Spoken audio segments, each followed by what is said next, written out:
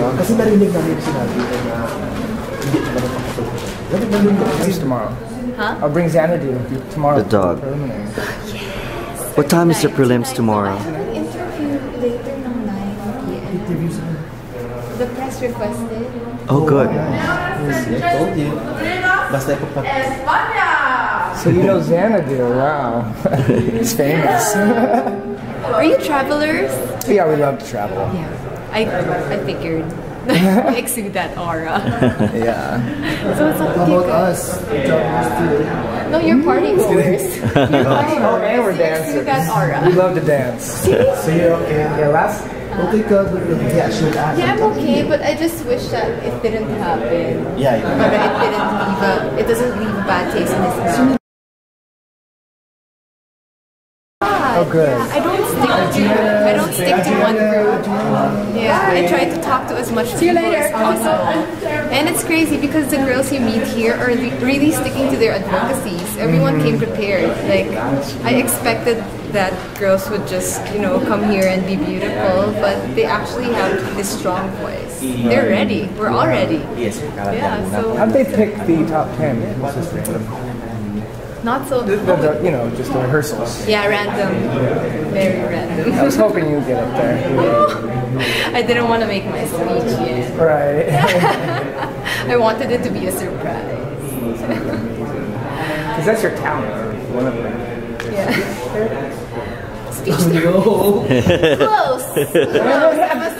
I'm speech writer. The speech writer. Although it was it was also challenging for me because the speeches I usually make are heavy on economic data and world trends. So it's like pres- more of a presentation rather than like a really heartfelt speech. So I have like four or five drafts in my phone in Google Docs, and then the final draft. Um, no, it every draft is a different story. So I just had to decide on which story I think would make the most um, impact, yeah, on people.